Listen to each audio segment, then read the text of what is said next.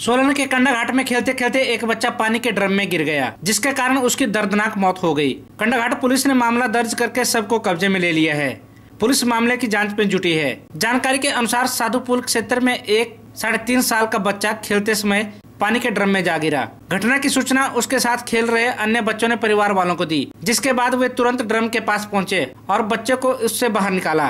परिवार के सदस्य उसे लेकर कंडाघाट अस्पताल पहुँचे, लेकिन डॉक्टर ने उसे मृत घोषित कर दिया। पुलिस ने घटना को लेकर मामला दर्ज करके सबको कब्जे में लेकर सब का पोस्टमार्टम सोलन अस्पताल में करवाकर सब परिजनों को सौंप दिया है। वहीं अतिरिक्त पुलिस अधीक्षक शिव कुमार शर्मा ने कहा कि एक बच्चे की पानी के ड्रम में डूबने से मौत हो गई थी। परिजन जब उसे कंडाघाट अस्पताल लेकर आए, वहाँ डॉक्टरों ने उसे मृत घोषित कर दिया था। पुलिस ने सबको कब्जे में लेकर सबको सोलन अस्पताल भेज दिया था।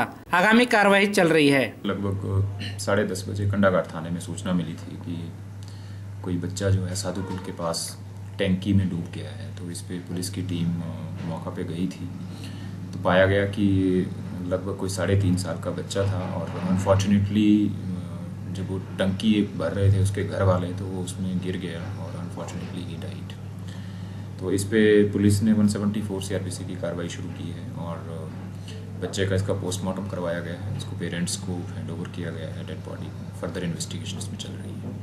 के चैनल के लिए सोलन से अमरप्रीत सिंह की रिपोर्ट।